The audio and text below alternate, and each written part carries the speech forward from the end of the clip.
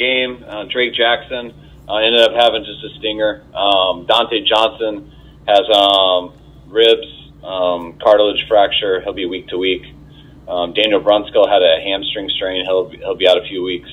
Um, Danny Gray, just some hip and back soreness. We'll keep him out the next couple of days. Should be good when we get to Minnesota.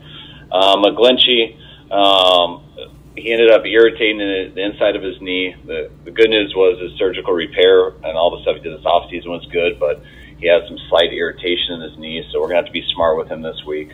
I'll be surprised if he does anything in Minnesota. Um, Curtis Robinson had a groin strain. Uh, he'll miss most likely this week. Um, and hopefully we'll get Moseley um, and Ridgeway back in practice soon um, in the next couple days or by Minnesota. That's about it. Go ahead, guys. Uh, Kyle? What was Ridgeway's injury? Um, Ridgeway had a quad strain uh, the first week of practice.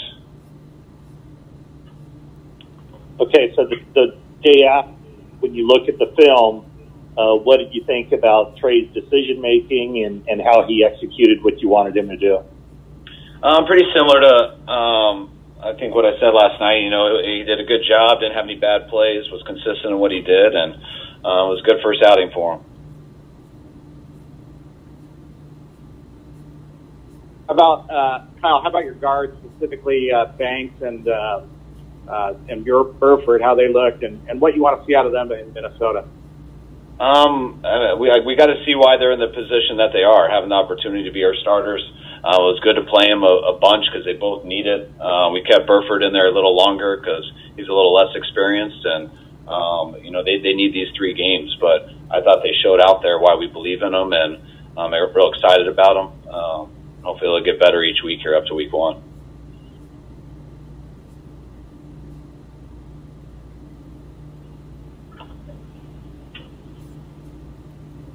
Kyle, after looking at the tape, what did you see from Sam Womack out there? Um, it. I mean, we felt him out there with those picks and stuff, and I thought he did a real good job in his coverage too. I mean, his pick over the middle, I thought was the best. Um, just the coverage that he had on it. The second one, um, just for him to keep fighting and be able to come down with that, or I think that was the first one. Uh, but he had a good first outing, so we've got to clean some stuff up and continue um, improving in the run game and some pass game stuff. But um, he had a good first day.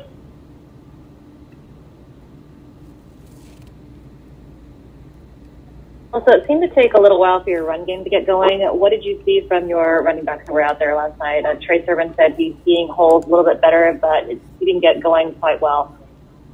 Yeah, I was I was real happy with Trey. Um, there was things that we wanted him to improve on from last year. He's shown that in training camp um, every single day that he's got the opportunity to, and I thought he did the same thing last night.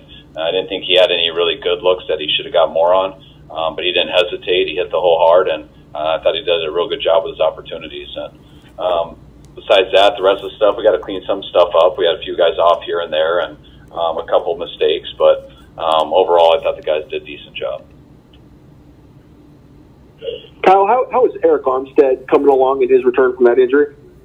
Uh, he's coming along. You know, I, I bet you he could go. I bet you he'd be all right this week if we really wanted to push it. Um, we'll watch him here the next couple of days, and you know, I think we're a little more hesitant for his first practices back to be against other other team, um, to be against Minnesota. So odds are we'll wait on him, but uh, he's doing a good job.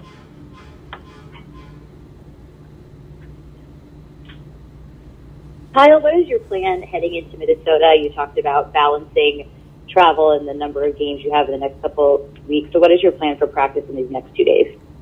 Um, I mean, we got a number of guys who haven't really practiced since Wednesday. You know, we just did a walkthrough Thursday, and a number of guys didn't play in that game Friday. Um, so we really want to generate a practice tomorrow.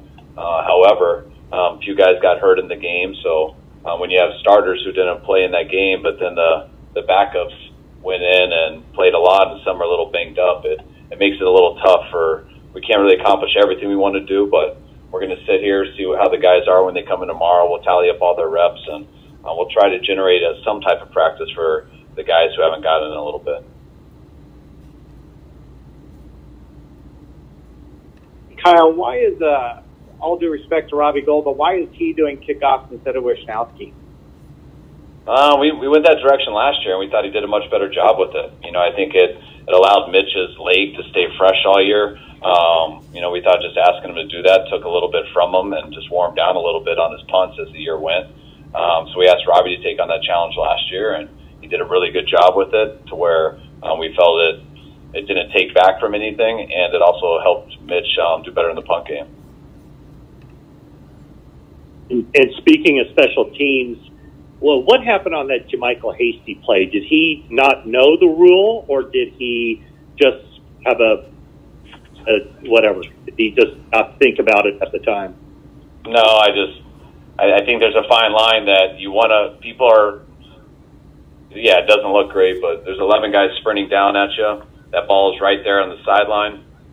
Hell yeah, you want it to bounce out of bounds, um, so we get a much bigger gain, or you want him to get out of bounds and touch the ball from there, um, so we can get that. But the fear is always that it ends up staying in bounds, and you hesitate a little bit on it, and then those guys show up a lot quicker than you're anticipating. So obviously, you'd like to have it over, um, but he just, I think, was too unsure if it was going to go out or not.